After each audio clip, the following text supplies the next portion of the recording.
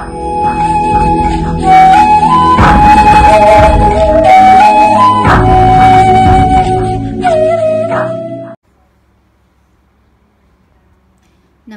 जी सभी को। आज हम हाजिर हैं लेकर रिचर्डसन दुश्मन इक्वेशन। स्टूडेंट्स ने मुझे मैसेजेस किए कि, मैम, रिचर्डसन दुश्मन इक्वेशन करवाइए, प्लीज़। इसने तो दुश्मनी मोल ले ली है, जिसके नाम में ही दुश्मन है, उस इक्वेशन को कैसे किया जाएगा? उनको गाना याद आता है, दुश्मन न करे दोस्त ने वो काम किया है। उम्र भर का, डिग्री भर का गम हमें इनाम दिया है। ऐसा नहीं है। आप लोगों को लगता होगा कि सिलेबस के टॉपिक्स हैं दोस्ती करनी पड़ेगी दोस्ती में दुश्मनी कहाँ से आ गई? सो so, इसके सिर्फ़ नाम में ही दुश्मन है otherwise this equation is too simple बड़ा आ, हल्का फुल्का सा मैथमेटिक्स है थोड़ी लंबी ज़रूर है लेकिन मैथमेटिक्स है वो कॉन्टीन्यूसली चली जा रहा है इंटेग्रेशन है आपको समझ आ जाएगा so it is not quite difficult so without wasting much time let us start with Richardson Dushman equation देखिए रिचर्डसन दुश्मन इक्वेशन है क्या? This equation relates current density of a thermionic emission to work function phi and temperature T of emitting material आपको पता है कि किसी भी मेटल में से इलेक्ट्रॉन्स को निकालने के बहुत तरीके होते हैं। मेरी पिछली वीडियोस में एक वीडियो है जिसके अंदर एमिशन ऑफ़ इलेक्ट्रॉन्स की बात की गई है। आ, लिंक मैं उसका डिस्क्रिप्शन में दे दूँगी आप लोग देख सकते हैं। उसके अंदर एक टाइप थर्माइनिक एमिशन जाती है। थर्माइनिक एमिशन देखिए क्या होती है। नेम से ही क्लियर है थर्म प्लस आयनिक। थर्म मतलब हीट और टेम्परेचर की हम बात करें, आयनिक आयंस यानी कि हीट या टेम्परेचर की वजह से जब हम आयंस बाहर निकालते हैं, उसको हम क्या बोलते हैं? Thermionic emission. तो थर्माइनिक एमिशन जो है, अब किसी भी मेटल में से आपको इलेक्ट्रॉन को बाहर निकालना है। अब इलेक्ट्रॉन को बाहर इलेक्ट्रॉन बेचारा जुड़ा हुआ है। आप लोगों को पता है कि मेटल के अंदर मेटालिक बॉन्ड होते हैं पॉजिटिव कर्नल्स होते हैं इलेक्ट्रॉन्स फ्री होते हैं। और वो फ्री इलेक्ट्रॉन्स इतने फ्री होते हैं they are capable to move within the body of the conductor but इतने बाउंड होते हैं दे कैन नॉट लीव और एस्केप फ्रॉम द सर्फेस बाहर नहीं जा पाते हैं। लेकिन आपको इस मेटल से इसको बाहर निकालना है। तो जिस पोटेंशियल के साथ, जिस एनर्जी के साथ ये अंदर जुड़ा हुआ है, आपको वो एनर्जी उसको देनी पड़ेगी। And that energy is known as work function आपको पता है the minimum energy required to remove an electron from metal surface is called work function तो उसको हम फाई से डिनोट करते हैं। टेम्परेचर हो गया टी तो वर्क फ़ंक्शन फाई और टेम्परेचर टी इनको करंट डेंसिटी जे के साथ इंटर रिलेट करवाने वाली इक्वेशन का नाम क्या है? रिचर्डसन दुश्मन इक्वेशन ठीक है? तो अब होता क्या है इसके अंदर? कि टेम्परेचर जैसे जैसे हम बढ़ाएँगे, हम ये मानते हैं कि we are providing energy to the electron kinetic energy to the electron आपको पता है kinetic energy kinetic theory of gases में टेम्परेचर बढ़ाने के साथ वो बढ़ती जाती है। इलेक्ट्रॉन को ज़्यादा ज़्यादा ज़्यादा ज़्यादा एनर्जी मिलेगी तो अब उछलेगा बेचारा, बहुत ज़्यादा उछलेगा तो हो सकता है वो मेटल से बाहर आ जाए। बाहर आएगा, आपने बैटरी वगैरह के साथ कनेक्ट किया है, आप करंट फ्लो को मेजर करेंगे करंट पर यूनिट एरिया को मेजर करेंगे and that will be current density तो मैं देखना चाहती हूँ कि वो current density work function phi और टेम्परेचर के ऊपर किस तरीके से डिपेंड करती है तो ये वो इक्वेशन है जो मैथमेटिकली इनको रिलेट करती है। This equation is called Richardson Dushman equation J is equal to B T square E minus phi upon K T B को हम रिचर्डसन कॉन्स्टेंट बोलते हैं टी इज़ द टेम्परेचर और फाइव यहाँ पर क्या है वर्क फ़ंक्शन है। के बोल्ड्समैन कांस्टेंट है, जिसकी वैल्यू आपको पता है 1.38 point three eight into ten raised power minus twenty three joule per kelvin होती है।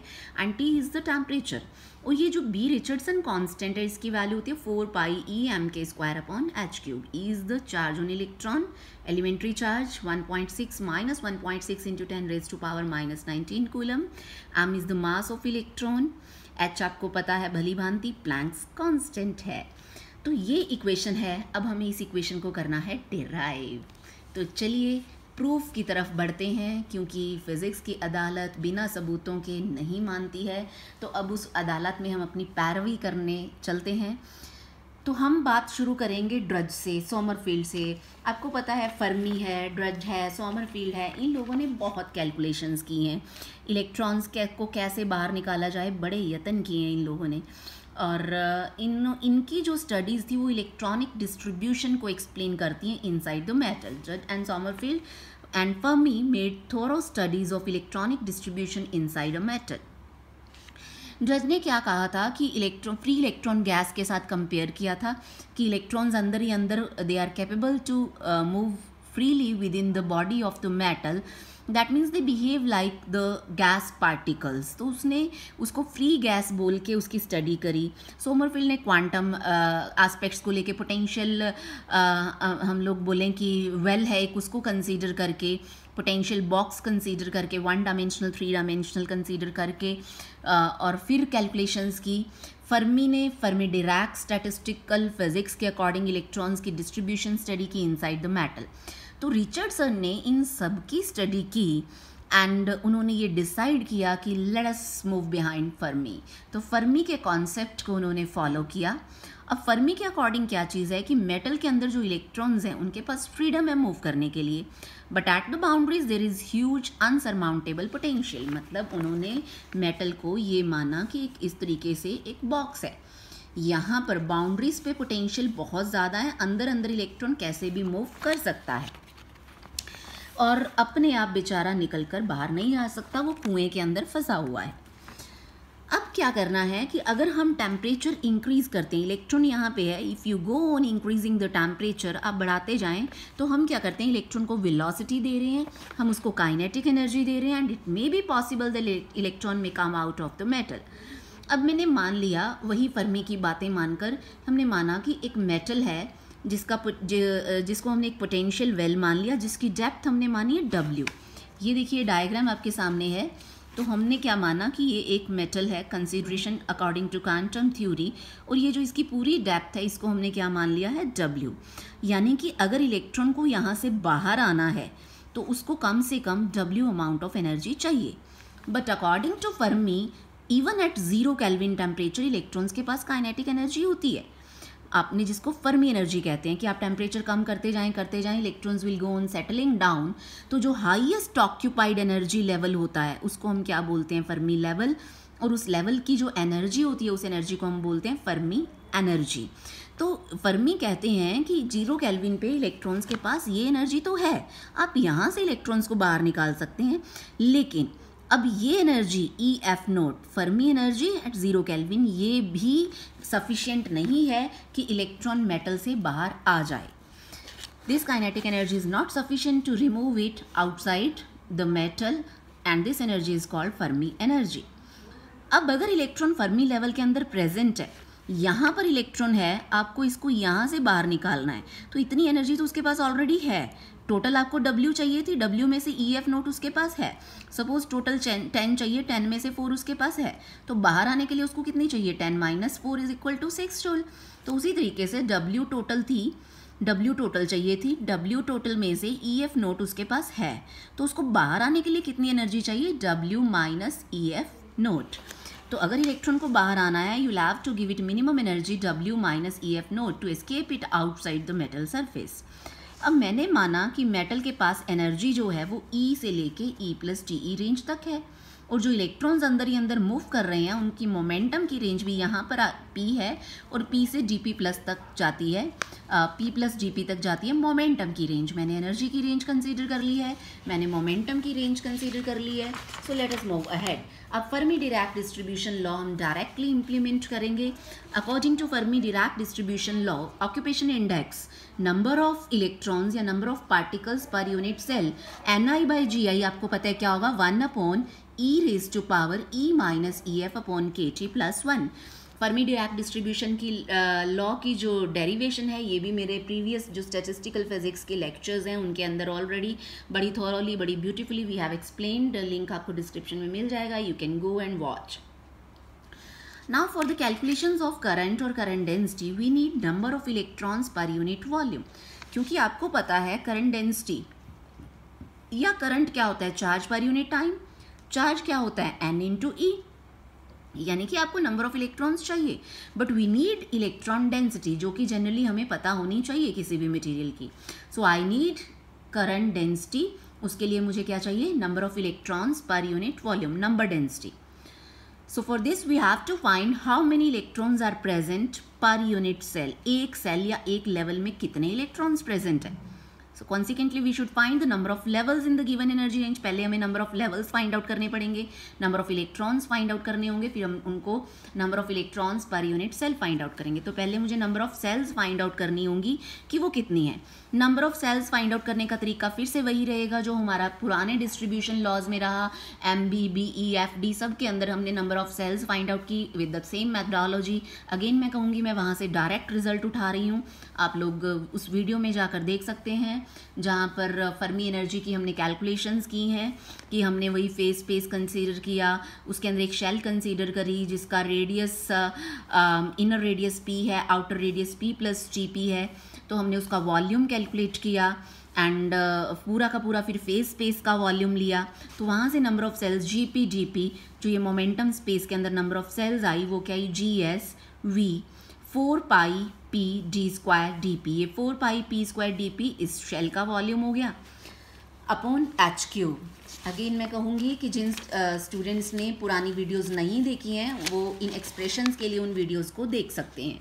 वहाँ से हमने ये डायरेक्ट रिज़ल्ट उठाया है जी पी डी पी का। यहाँ पर जी एस क्या होता है? स्पिन डिजनरेसी फैक्टर होता है, जो इलेक्ट्रॉन के लिए टू होता है, क्योंकि इलेक्ट्रॉन के पास आपको पता है दो स्पिन होती हैं। स्पिन डिजनरेसी फैक्टर की वैल्यू होती है two S plus one electron के लिए स्पिन की value S is equal to half so G S आप यहाँ पर हाफ़ पुट करेंगे तो आपके पास आ जाएगा टू तो इस वैल्यू को हम यहाँ पुट करेंगे तो G P D P you will get two V upon H cube four pi P square D P अब मैंने क्या किया? इक्वेशन नंबर वन ये वाली।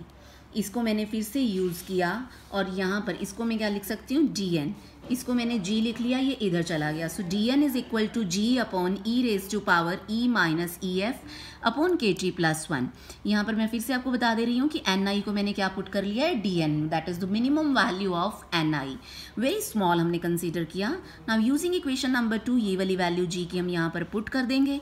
सो डी एन हमारे पास क्या आ जाएगा? Two V upon H cube, four pi P square D P, E E exponential power E minus E F upon K T plus one to find the number of particles per unit volume क्योंकि ये number of particles हैं। हमें चाहिए number of particles per unit volume तो मैं उसको divide करूँगी we से या ये वाला वी हम इधर ले आएँगे नीचे। तो यहाँ पर ये आ गया नीचे। जब इसका ट्रांसपोज लिया गया, बेचारा नीचे आ गया। इधर ऊपर था, बहुत हवा में उड़ रहा था, हमने इसको नीचे ले आए।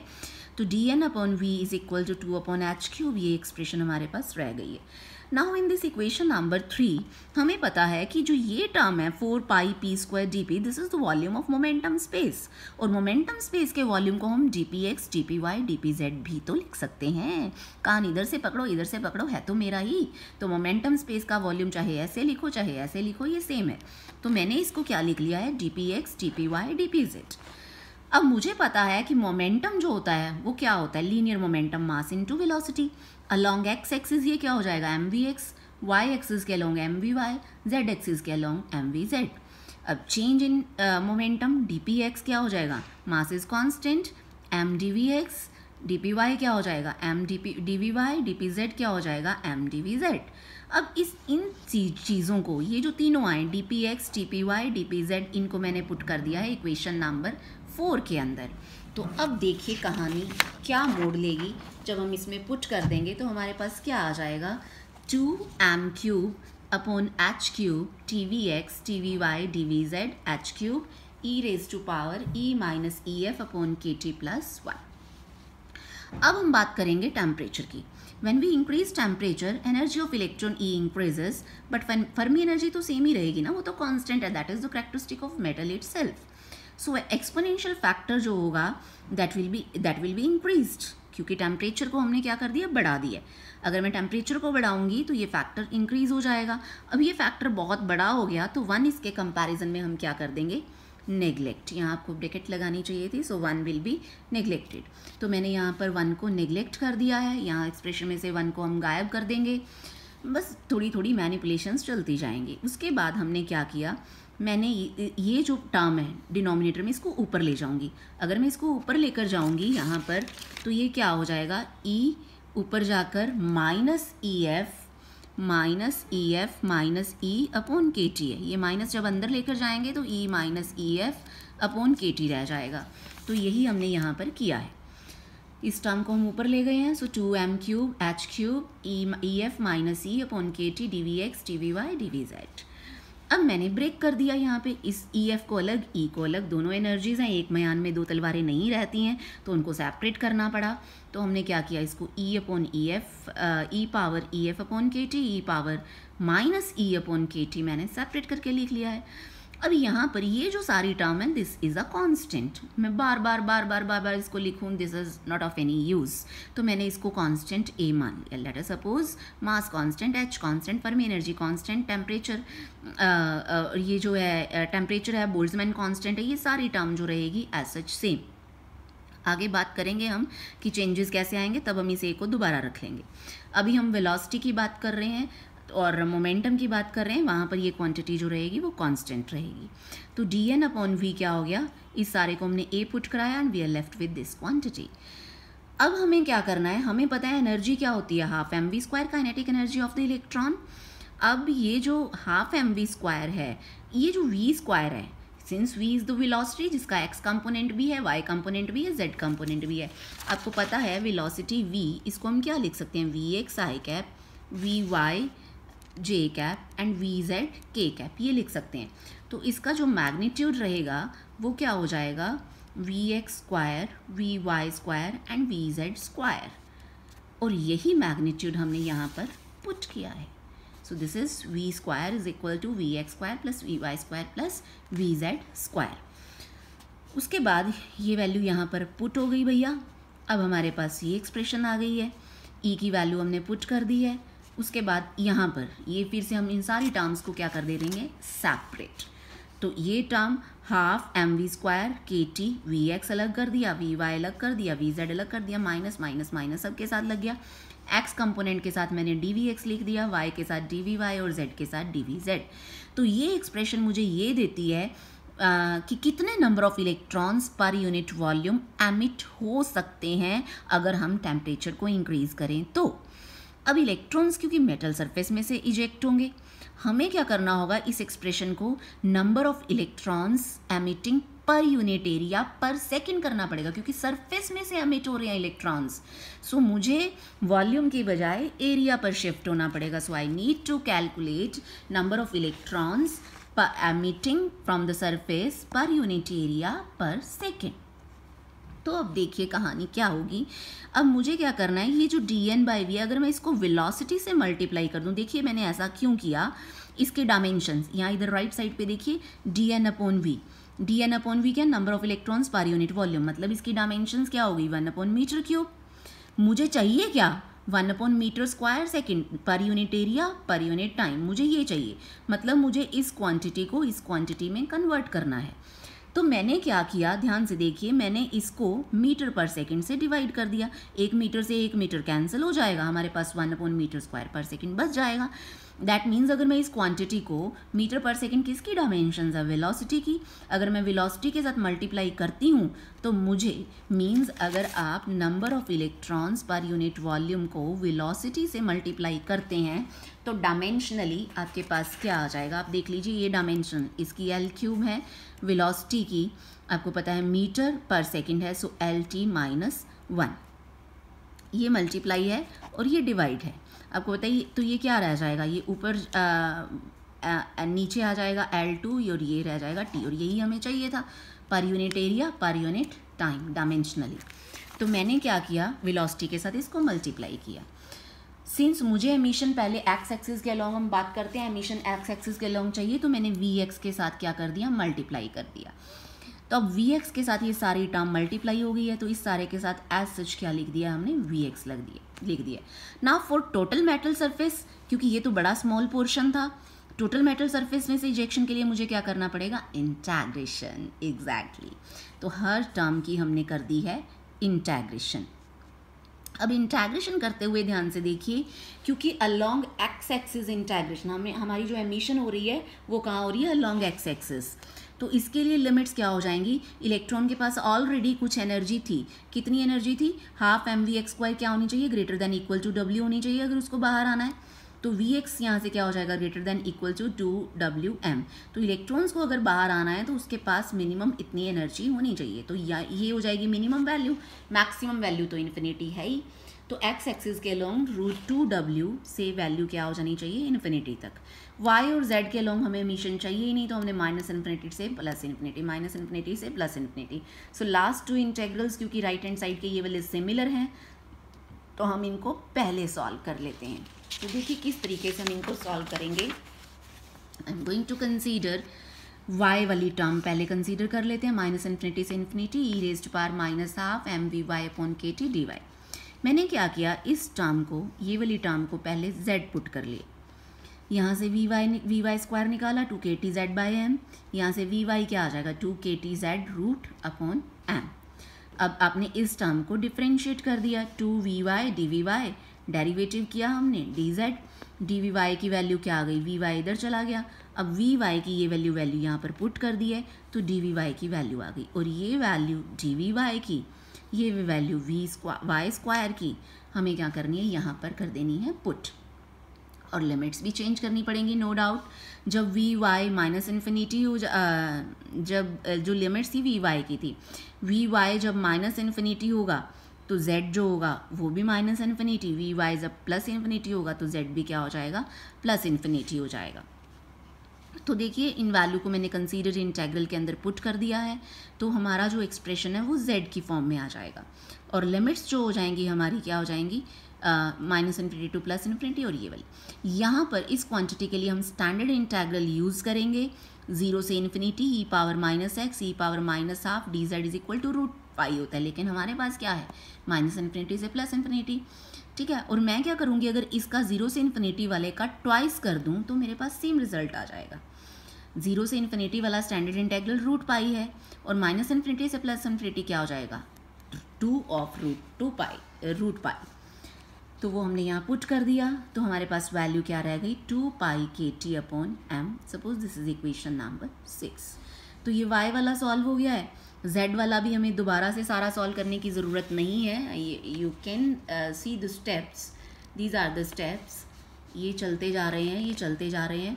और इसी तरीके से हम जेड वाले का आंसर भी क्या लिख लेंगे? टू पाई के टी अपॉन एम रूट और ये दोनों सिक्स एंड सेवन को हम कहाँ पर पुट करवा देंगे? अपनी इक्वेशन नंबर फाइव के अंदर। इसकी वैल्यू भी हो गई, इसकी वैल्यू भी होगी अब हमें फाइंड आउट करनी है इस इंटेग्रल की वैल्यू तो पहले हमने उस दोनों वैल्यूज़ को पुट करवा दिया इक्वेशन नंबर फाइव में।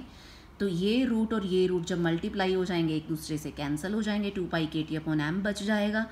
और हमारे पास ये ब्रैकेटेड टर्म रह गई है जिसे हमें सॉल्व करना है। अब हमें इंटेग्रल इस ये वाला सॉल्व करना है।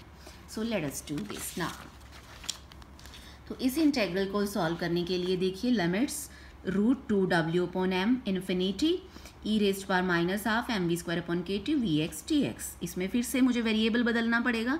उसी तरीके से मैंने इस क्वांटिटी को टी पुट कर लिया वी एक्स स्क्वायर की वैल्यू निकाल ली डेरिवेटिव किया और अब मुझे वी एक्स इधर जाके डिवाइड करवाने की ज़रूरत नहीं है पिछली बार की तरह, क्योंकि v x t x d v x की वैल्यू ही v x t v x की वैल्यू ही मुझे चाहिए।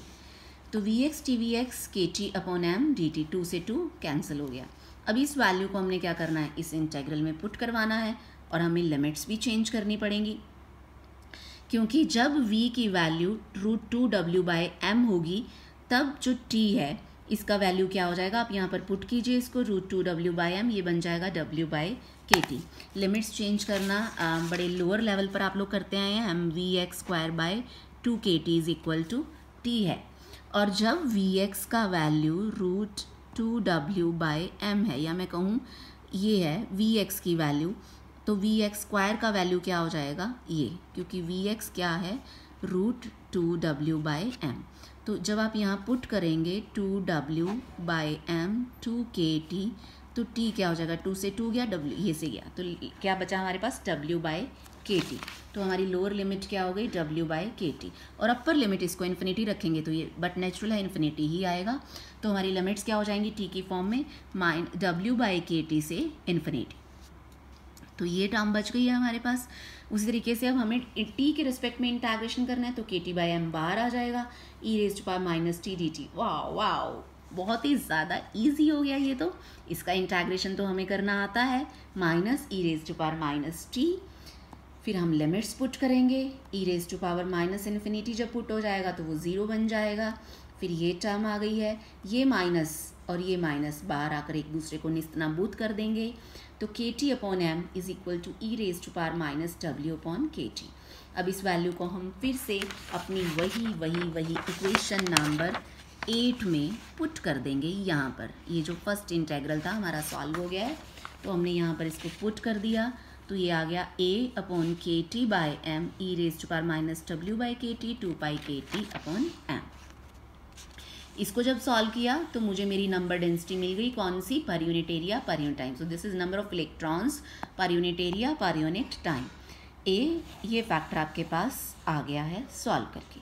अब जो ए हमने हमने जिस कांस्टेंट को ए माना था, हम उस कांस्टेंट को दोबारा से पुट कर लेते हैं। देखिए, ध्यान दीजिए इस इक्वेशन में। दिस वाज ए ये रहा ए हमारा। तो ये ए अब हम दोबारा इस इक्वेशन में पुट कर देंगे। ये हमारी ए की वैल्यू है। हमने यहाँ पर दोबारा से इसको पुट कर दिया। तो ये e raise to power e f upon k t है। यहाँ पे डब्ल्यू अपॉन के टी है। दोनों को जब कंबाइन किया e raise to power minus W minus bracket के अंदर W minus e f upon k t और ये जो टर्म है डब्ल्यू माइनस ई एफ़ यही वर्क फ़ंक्शन था जो हमें चाहिए था। याद कीजिए diagram on the first page itself ये minimum energy require to eject the electron from metal surface that is nothing but work function तो इसको मैं क्या पुट करवा सकती हूँ? फाइव इसको मैंने फाइव पुट करवा दिया है। और फाइव जब ये पुट हो गया तो मेरे पास ये आ गई है equation this equation gives me the number of electrons emitted per unit area per unit time अब हमें फाइंड आउट करनी है करंट डेंसिटी करंट डेंसिटी क्या हो जाएगी? आपको पता है करंट डेंसिटी जे क्या होती है? करंट अपॉन एरिया और करंट आई क्या होता है? क्यू बाय टी ये क्या होता है? N into e q by t q को पुट कराया n into t n is number of electrons e charge on electron and ये क्वांटिटी हम ऑलरेडी फाइंड आउट कर चुके हैं. Number of electrons per unit area per unit time इसको हमने अपने यहाँ पर एन लिखा है. और ये है ई e.